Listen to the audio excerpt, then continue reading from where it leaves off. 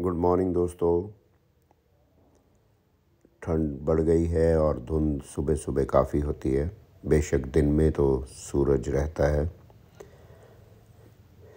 Jetty का शान हिंद के साथ जॉइन अप कंप्लीट नहीं हुआ।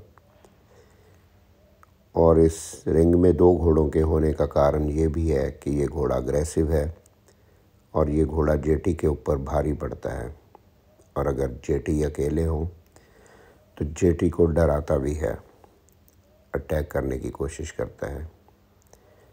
जेटी एक हार्ड वर्कर है, मगर कई बार ये कहा जाता है कि वो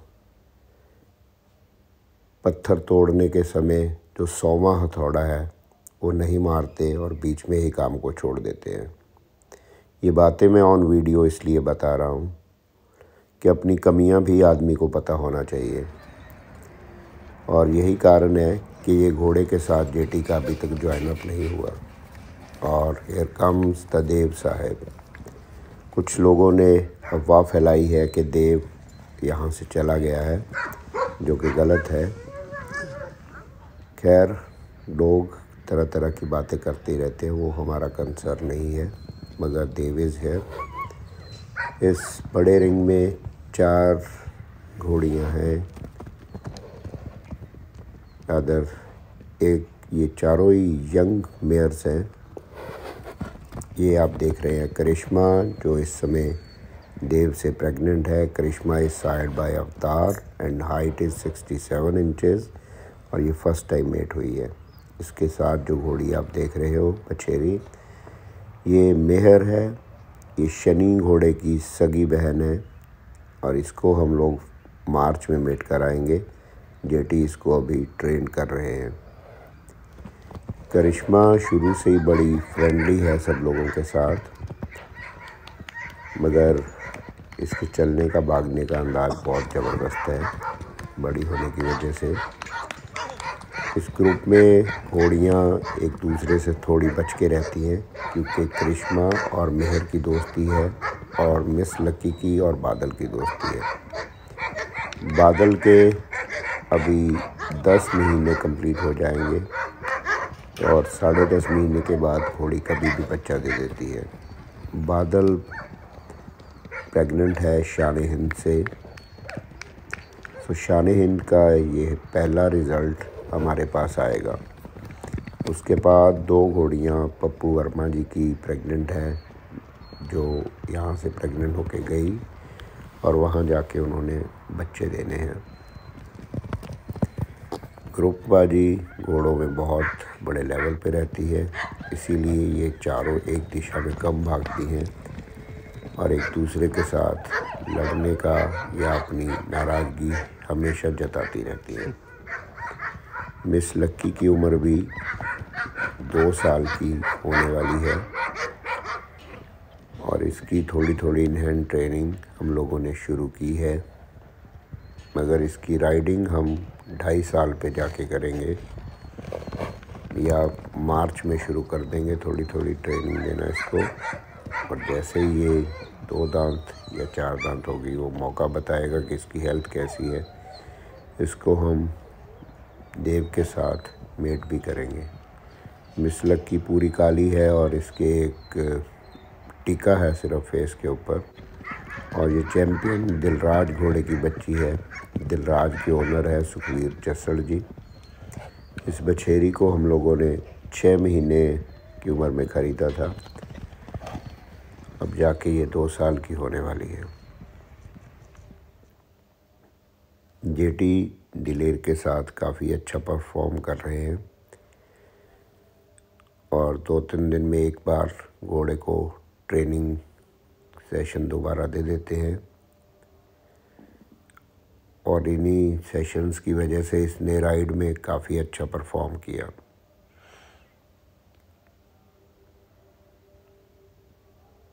जैसे जैसे सर्दी आएगी, इसके डेपल्स थोड़े कम हो जाएँगे क्योंकि बॉडी पे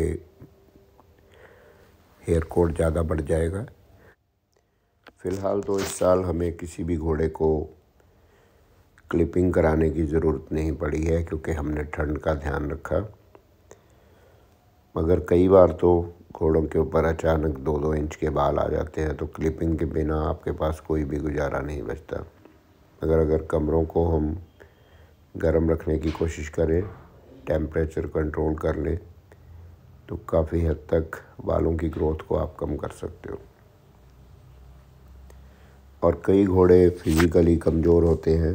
तो उनके भी बालों की ग्रोथ ज़्यादा होती है। काम करते हुए घोड़े को देख के मुझे लगता है कि फ्री भागने वाले घोड़ों को लगता होगा कि ये बेचारा कहाँ फंस गया है। और हो सकता है वो अपनी लैंग्वेज में इनको चिढ़ाते भी हों कि, वाह बेटा, तुम बहुत फंसे हो आज। जिस तरह से फ्री घूमने वाले बच्चे, स्कूल जाने वाले बच्चों को देख के कहते होंगे।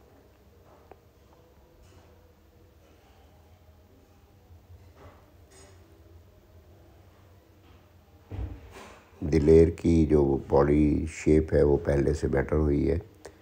अब इसने वज़न लेना शुरू कर दिया है।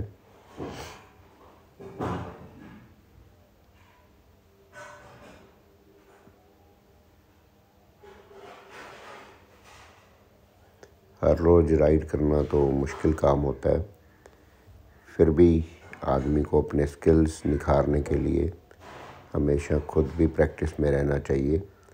और आपके प्रैक्टिस में रहने से घोड़ा भी अच्छा परफॉर्म करेगा।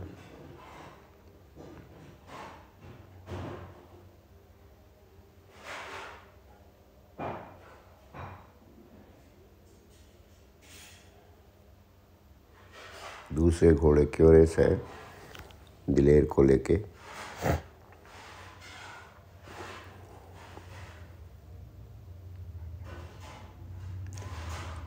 और ये है आलमगीर की बछेरी और ये जो काली घोड़ी आप देख रहे हैं, ये बाकर पारसपुर सॉरी पारस बाकरपुर की डॉटर है। इस बछेरी की उम्र करीब है इस समय इक्कीस बाईस दिन और इस घोड़ी को दोबारा मेट किया गया है देव साहब से। जब ये घोड़ियाँ कूदती हैं तो हमें लगता है कि ये बच्चों को चोट लगा देंगी, क्योंकि ये एक छोटा राउंड पैन है। मगर इनको भी अपने बच्चों की फ़िक्र होती है तो ये वो मौका नहीं आने देती कि चोट लगाए।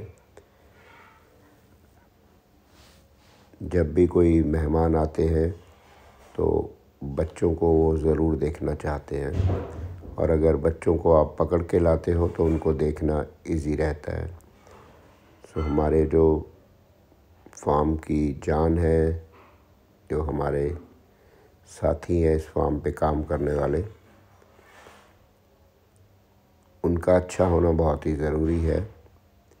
अगर वो घोड़ों से प्यार नहीं करेंगे और अपनी जॉब को सिर्फ़ जॉब समझ के करेंगे तो वो बड़ा मुश्किल हो जाएगा। सो उनको भी घोड़ों से प्यार होना बहुत ज़रूरी है। ताकि वो घोड़ों को अच्छे से संभाल सके।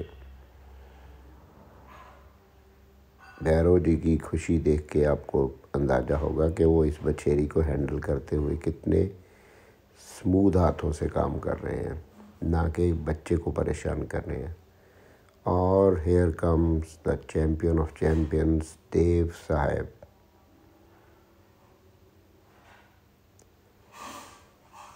बेशक हम देव को राइड नहीं करते, मगर उसको घुमाना, उसको बाहर फार्म से भी घुमा के लेके आना और पैडक में उसको अच्छा समय देना, वो हम कभी भी नहीं भूलते। फार्म की एक रूटीन सेट है, सुबह शाम दोनों टाइम सब घोड़ों को खुला छोड़ा जाता है। अगर वो लेटना चाहे तो लेट जाते हैं, अगर वो भागना चाहें, भाग लेते हैं।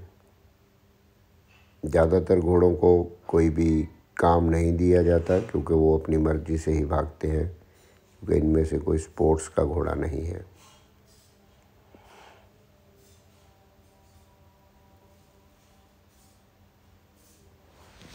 देव हमेशा एनर्जी से भरपूर रहता है।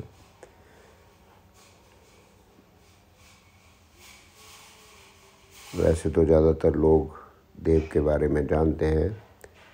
अगर फिर भी मैं बता दूँ कि देव के शायर प्रभात हैं।